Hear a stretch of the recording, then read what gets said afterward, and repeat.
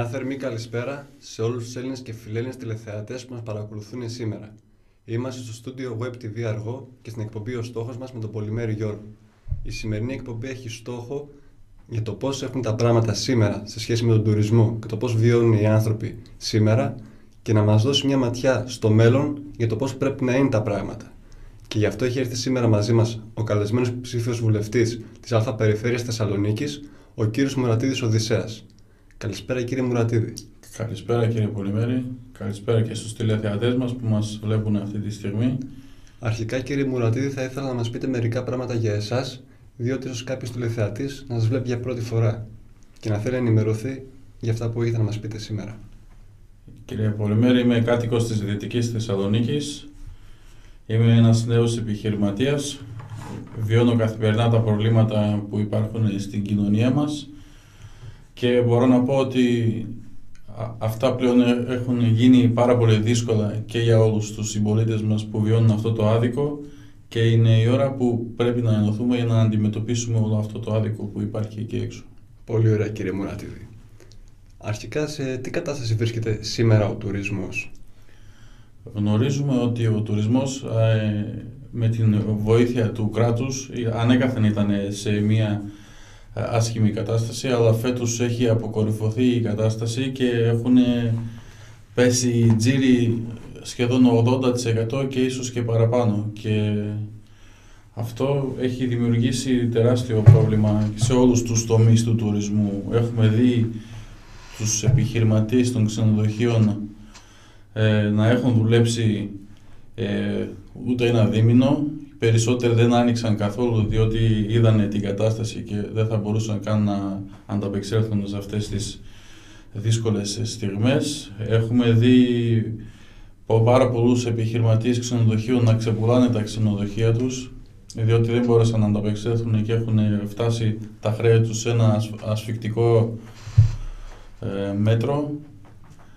Αυτά που έχουν σχέση με τα ξενοδοχεία. Έχουμε δει και πάρα πολλά πράγματα όπως ε, το κράτος μας δεν έχει δώσει βάση στην αξιοποίηση όλου του πλούτου του, πολιτισμικού που έχει η χώρα μας διότι γνωρίζουμε ότι μια όμορφη χώρα όπως η Ελλάδα μας θα μπορούσε να έχει χίλιους τρόπους ώστε για να μπορέσουμε να αναδείξουμε τη χώρα μας και να την εκμεταλλευτούμε για να μπορέσουμε να βοηθήσουμε στην οικονομία, στην οικονομία μας μέσω τουρισμού. Σαφώς, διότι ο τουρισμός παρουσιάζεται και ως η πιο βαριά βιομηχανία της χώρας μας και θα πρέπει να δώσουμε μια πολύ μεγάλη βάση πάνω σε αυτό για να έχουμε έσοδα σε αυτές τις δύσκολες στιγμές που βιώνουμε.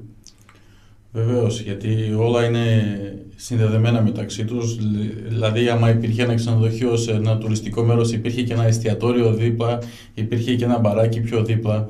Οπότε, εφόσον δεν έχουν δουλέψει όλοι αυτοί, ακόμα και οι υπάλληλοι που δουλεύανε σε αυτούς τους χώρους, οπότε αυτό ε, δημιούργησε πρόβλημα και έναν φαύλο κύκλο σε όλους τους τομείς αυτούς. Ναι, είναι αλυσίδα αυτό. Ναι, και το προσωπικό που δεν έχει εργαστεί φέτος το καλοκαίρι, δεν έχει μαζέψει τα, τα χρήματα για να μπορέσει να επιβιώσει και να βγάλει το χειμώνα για να μπορέσει να ζεσταθεί. Αυτό είναι πολύ τραγικό κύριε Μουρατίδη. Όσον αφορά την κυβέρνηση, εφόσον βλέπει ότι αυτοί οι άνθρωποι δεν έχουν τώρα αυτή τη στιγμή με την κατάσταση που επικρατεί να μπορέσουν να επιβιώσουν επειδή είχαν αυτό το επάγγελμα έχει ενδιαφερθεί καθόλου η κυβέρνηση για αυτούς τους ανθρώπους και τι μέτρα έχει πάρει; Δεν έχει πάρει κανένα μέτρο ούτε φέτος ούτε ακόμα και για το 2021 δεν έχει πάρει. Έχουμε δει ε, πάρα πολλά στοιχεία και έχουμε δει ότι το κράτος ε, έχει δείξει μια τεράστια διαφορία για όλο αυτόν τον τομέα. Μα πρέπει να υπάρχει μια ανταποδοτικότητα μεταξύ πολίτη και πολιτεία. Όταν θέλει η πολιτεία από τον πολίτη να δίνει τους φόρους του εγκαίρους για να μπορεί να έχει ε, η κυβέρνηση χρήματα για να μπορέσει να έχει ένα περιβάλλον βιωτικό στον πολίτη όταν ο πολίτης δεν το έχει αυτό δεν μπορεί να ανταποδώσει προς την πολιτεία. Το έχουμε δει αυτό πάμπολες φορές και έχει καταλάβει πλέον και ο Έλληνας πολίτης ότι όλο αυτό ε, οι φόροι που πληρώνουν δεν είναι ανταποδοτικοί οπότε έχει καταλάβει τι γίνεται γύρω του Και έχουμε δει πολλές φορές ότι το κράτος ε, έχει πληρώσει πάρα πολλά χρήματα που πηγαίνουν έξω και όλα αυτά δεν έχουν έρθει στην Ελλάδα. Και οπότε ο Έλληνας πολίτης βιώνει τρομακτικό άδικο και υπάρχει μια τρομερή δυσκολία ακόμα και δεν μπορούν πολλοί άνθρωποι να έχουν να φάνε αυτή τη χρονική περίοδο. Το βλέπουμε καθημερινά κύριε Μουρατίδη. Άπειρες ουρές στον ΟΑΕΔ, άπειρες ουρές έξω για τα συσίτια της Εκκλησίας, άνθρωποι οι οποίοι κάποια παλαιότερα είχαν το πώς να επιβιώσουν, είχαν κάποια δουλειά. Βλέπουμε την υποβάθμιση του ανθρώπου να πηγαίνει και να ζητάει ελεημοσύνη. Ο άνθρωπος αυτός ο οποίος δεν προστατεύεται από την πολιτεία του. Βεβαίως, είναι εχθρική όπως το έχουμε καταλάβει η, ο, ο κράτος προς τον, προς τον Έλληνα πολίτη δεν τον προστατεύει πουθενά και έχει, αισθάνεται πλέον κάθε Έλληνας πολίτης μόνος του. Και αυτό πρέπει να αποτραπεί και είμαστε εδώ για όλους τους πολίτες για να έρθουν μαζί μας, να ενωθούν και να μην νιώσει ποτέ κανένας άνθρωπος μόνος του γιατί είναι η ώρα που πρέπει να ενωθούμε όλοι σαν Έλληνες και να πολεμήσουμε αυτό το άδικο και να επιτεύξουμε τον στόχο μας που είναι η ελευθερία μας, που είναι η αυθονία μας, που είναι ο πλούτος μας, που είναι όλα μαζί. Και πώς θα αλλάξει αυτό κύριε Μουράτιδη. Οι προγραμματικές δηλώσεις της Ελλήνων Συνέλευσης τι μας, τι μας δείχνουν; Στις προγραμματικές δηλώσεις ε, της Ελλήνου Συνέλευσης που τις έχει καταθέσει ο πρόεδρος μας, ε, ο Αρτέμις Σόρας, στον Άριο Παγό το 2015 με αριθμό πρωτοκόλλο 61-99. Υπάρχουν 49.000 έργα, μες στα οποία γίνει και φυσικά και ο τουρισμός. Ε, έχουν γίνει προγραμματιστεί τεράστιες επενδύσεις και στα οδικά δίκτυα, διότι βλέπουμε ότι αυτή την όχι μόνο αυτή τη χρονική περίοδο, ανέκαθεν υπάρχει μια δυσλειτουργία στην προσβασιμότητα σε τουριστικούς χώρους. Έχουμε δει ε, κάποιοι τουρίστες ε, να χάνουν σχεδόν τη μισή μέρα τους στους δρόμους ή να πληρώνουν τεράστια ποσά στα ταξί και σε, σε, άλλους, ε, σε άλλα είδη μετακίνησης. Και αυτό είναι ένα από τα, από τα πολλά προβλήματα που υπάρχει στον τουρισμό και στην προσβασιμότητα. Όχι μόνο δεν είναι προσβάσιμη κυρία Μουράτη, είναι σε άθλια κατάσταση.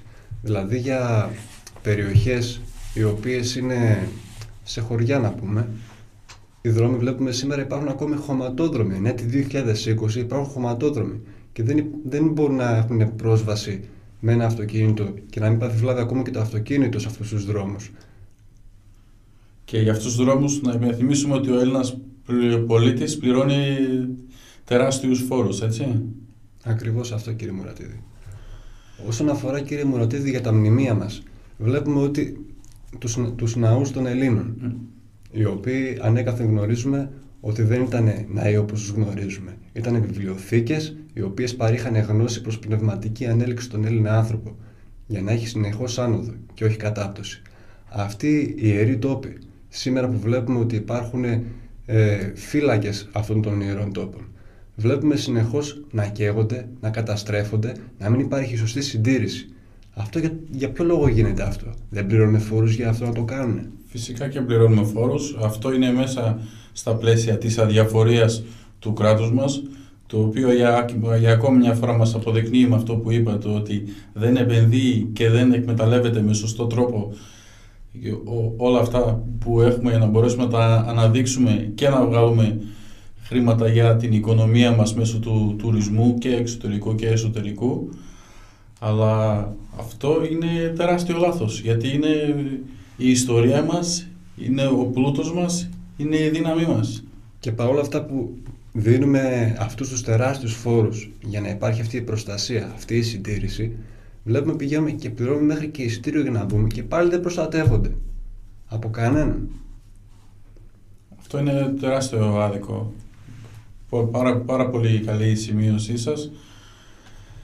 Βεβαίως, ε, θα υπάρξουν αλλαγές και σε άλλους τομείς. Θα, βεβαίως θα επενδύσουμε και στον πολιτισμό μας, θα τον αναδείξουμε. Έχουμε δει ας πούμε, χώρες όπως η Γαλλία να έχει έναν πύργο του Άιφελ, το οποίο φτιάχτηκε για 20 χρόνια και τον εκμεταλλεύονται για 100 χρόνια. Και να μπορέσει κάποιος να τον επισκεφτεί, πληρώνει τεράστια ποσά. Ενώ η Ελλάδα έχει τόσα πράγματα να αναδείξει και να δείξει στους τουρίστες μας, δεν έχει κάνει τίποτα.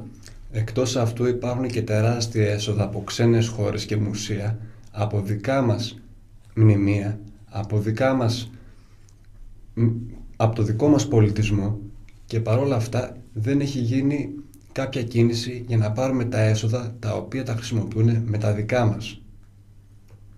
Τα οποία σήμερα θα μας βοηθήσουν πάρα πολύ σε αυτές τις δύσκολες στιγμές που βιώνουμε.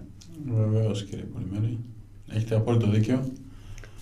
Συνεχίστε με τις προγραμματικές δηλώσεις. Τι άλλο, ποια άλλη, τι, τι άλλο λένε οι προγραμματικές δηλώσεις; Θα γίνουν τεράστιες κομοπόλεις και θα επεκταθούν σε όλη, σε όλη την Ελλάδα από την αρχή μέχρι το τέλος. Θα δώσουμε πάρα πολύ μεγάλη βάση στην, ε, στην ελληνική διατροφή διότι είναι από τις υγιεινότερες για τον άνθρωπο.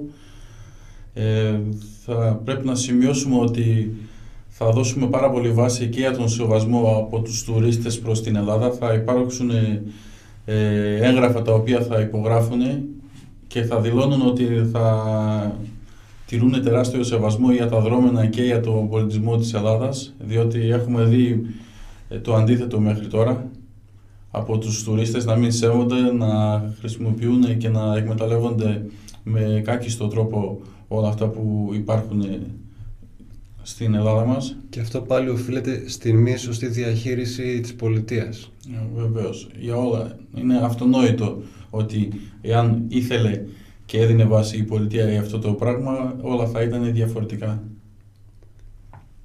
Σχετικά με την εντολή αποπληρωμής, κύριε Μουρατίδη, βοηθάει στον Έλληνα πολίτη ώστε να πάρει θέση για να πάρει πίσω τα δίκαια και τα δικά του, όπως προϋποθέτουν και οι προγραμματικές δηλώσεις. Γιατί εδώ παίρνουμε τις προγραμματικές δηλώσεις, βλέπουμε μια ματιά στο μέλλον που έρχεται σε μεγάλη αντίθεση με αυτό που βιώνουμε σήμερα.